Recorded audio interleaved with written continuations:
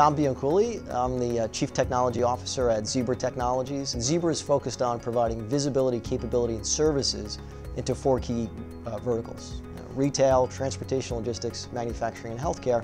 And we do that through a product portfolio and a set of solutions that use barcode printing, as well as barcode reading, RFID, and mobile computing technologies. This whole notion of digital disruption and, and the digitization of industry has been something that um, we've seen as a great opportunity for us. So uh, we've started to now evangelize a, what we consider to be a new category in the enterprise space, something we call enterprise asset intelligence. Evangelizing our message around enterprise asset intelligence and how that intersects data-driven strategies, Internet of Things, cloud, a lot of the topics that have been talked about at the conference is one.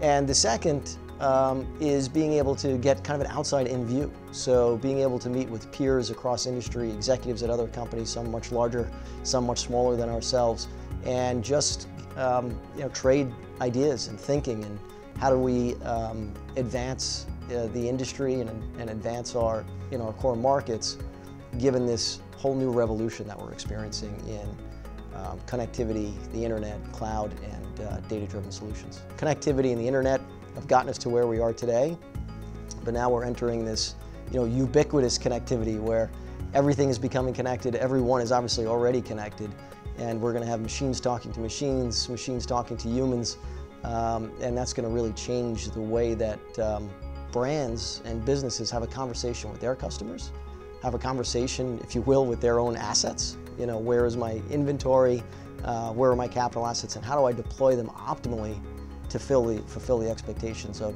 of, their, of their customers. And I think that's just gotten to a whole new level, um, expectation-wise. Um, consumers demand uh, sort of instant fulfillment, if you will, right? So the, the notion of closing that gap between want and fulfillment of that want. We're seeing it across all those four verticals, retail and manufacturing and transportation and healthcare, but you know, particularly around, as you said, sort of increased customer satisfaction or customer engagement, retail is the one that just jumps right out. And um, that, you know, if you had to pick out one word in retail that's going to be crucial to uh, brick and mortar retail operations, you know, surviving and competing and, and growing in the current climate, it's, it really comes down to that word of personalization, or that notion of personalization. So how do I have a personalized experience, um, curated, if you will, for that customer when they come into my store? But now you look at digital, um, and you talk about using data, and there's multiple constituents, there's multiple stakeholders, um, there's a whole field emerging